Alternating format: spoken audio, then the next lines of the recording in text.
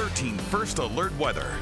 Sunny skies and cool conditions for your Friday. So far today, we've uh, at our warmest only made it to 54 degrees, three degrees cooler than yesterday, but our lows this morning were pretty mild, a little bit above average. As we move into your Saturday morning, don't expect same story. We are looking at really cold conditions overnight into tomorrow morning. Right now, 53 for Las Vegas, 51 in Anthem, 54 for Moapa, 60 for Lake Mojave. Overall across the region, we are looking just slightly below average, and that's coming off of a really warm week. So we're dropping a few degrees even from yesterday. This is where we'll hold as we head into the weekend. 24 hour temperature change showing two to four degrees colder depending on where you're at. For most of the morning and through this afternoon, we've been dealing with a breezy wind that is finally starting to settle down as the front pulls away from the region for the Las Vegas Valley, but still seeing that breezy wind in the Colorado River Valley, 16 mile per hour wind for both Laughlin and Lake Mojave.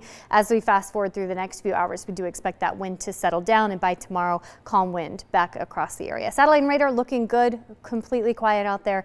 Maybe a couple clouds moving in and out, but that's all we have in store for your Friday night and your Saturday. By tomorrow afternoon, maybe the uh, northernmost portion of southern Nevada, if you will, will pick up a little bit of light snow again, but Clark County expecting to see mostly sunny skies through even the start of next week. Just a couple clouds moving in by Monday. Through tonight, we'll cool very quickly after sunset, so please grab those heavier jackets as you head out the door. Even by 6 p.m., we expect to be in the upper 40s with overnight lows in the mid 30s tonight, so much colder than where we started this morning. Definitely a chilly start to your Saturday morning and tomorrow afternoon on the cool side. Sunshine again, mid 50s for your Saturday, mid 50s for your Sunday, holding pretty steady in terms of temperature through the start of next week. Quiet conditions for Las Vegas, but do want to give you a heads up. Our forecast models hinting at the chance for rain again next Tuesday and a more significant chance working in next Thursday. So that's kind of what we're looking at as we move into the next seven days. But through this weekend, nothing to worry about as long as you grab those jackets before you head out for your plans. All right, Danny, thank